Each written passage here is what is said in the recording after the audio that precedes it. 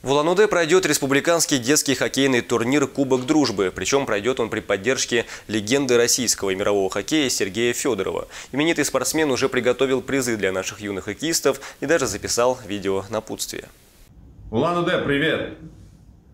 Я Сергей Федоров, приглашаю вас всех на турнир по хоккею, который называется «Кубок дружбы». Приходите поддержать команды, насладиться праздником такого великого спорта, как хоккей. Турнир пройдет на льду крытой арены Айсметр. Ждем вас! У меня в руках э, футболка, подписанная Сергеем Федоровым, э, легендой хоккея, одним из наших первых э, уехавших в НХЛ хоккеистов.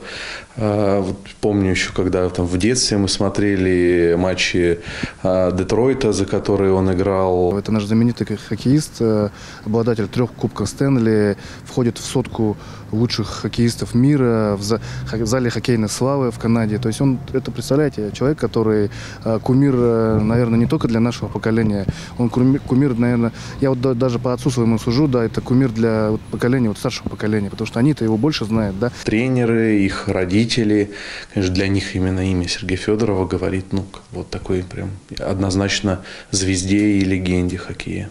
Человек, который э, сегодня является в Совете легенд ночной хоккейной лиги, в которой играет президент Российской Федерации Владимир Владимирович Путин, э, также председатель правительства Михаил Владимирович Мишустин, министр обороны э, Сергей Кужегетович Шойгу и много-много руководителей нашего государства, также очень много наших знаменитых хоккеистов, там и, там и Буре, там и ну, вот много, вот если посмотреть, вот, то очень, очень много людей, которые и хотелось бы, чтобы они в будущем на открытии нашего ледового дворца могли приехать, и это было бы очень... И вот э, будем уговаривать Сергея Викторовича. Турнир пройдет 20 и 21 марта на ледовой арене «Айсметр». Участие примут 6 команд, включая ребят из Гусинозерска и Кабанского района. Возрастное ограничение 0+.